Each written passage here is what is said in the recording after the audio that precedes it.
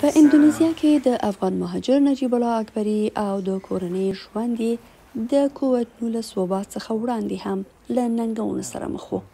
اکبري په ایران کې زیږېدلی خو هلته یې ځان خوندي نه احساسو او اوس په اوږد سفر راوتلی دی او د کابو 15 کال راهیسې د اندونیزیا پلازمینه جاګارتا څخه شاوخوا 10 مایل لري په یوه غرنۍ سیمه کې ژوند کوي. د مهاجرینو لپاره هر وخت د کرونا د وخت په شان دی، مونږ کار نشو کولای، سفر نشو کولای، مونږ له کورنۍ سره نشو لیدلای لکه د کرونا په وخت کې. اندونیزیا د ملګرو ملتونو د نولس سوه او یو پنځوس کال د کډوالو د کنوانسیون غړیتوب نه لري او له همدې امله په دې هیواد کې میشت شاوخوا څوارلس زره کډوال د زده کړو او روزګار څخه بې برخې دي. ډیری کډوال په نورو هیوادونو کې پر خپلو خپلوانو باندې تکیه کوي چې دوی ته د ژوند تیرولو لپاره پیسې ورولېږي.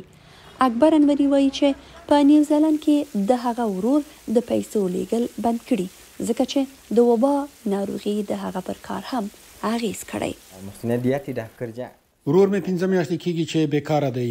په دې ورځو کې هغه نورې پیسې نه لیږي. زه په میاشت کې شاوخوا دوه سوه او پنځه څلوېښت ډالره مصرفوم. کرایه، خواړه، زه خورا معمولي خواړه خورم، خو مګر په دې فصل کې قیمتونه خورا لوړ شوي دي.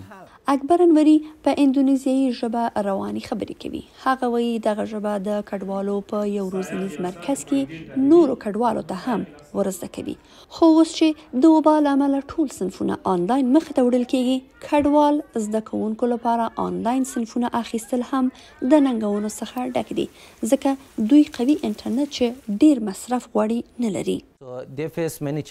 دوی له ډېرو ننګونو سره مخامخ دي، لکه د منابعو یا سرچینو نشتوالی، زموږ ځینې ښوونکي خپل ګرځنده ټیلیفون کاروي، زموږ ځینې زده کوونکي زموږ آنلاین صنفونو کې ګډون نه شي کولی، ځکه چې دوی ډېتا یا انټرنټ نه لري.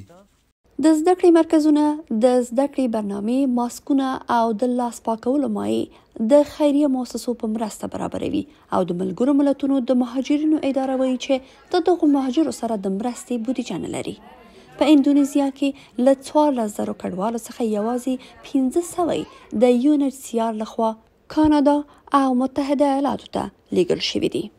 ګالرنا نورستانۍ د امریکا غږ آشنا ټلویزیون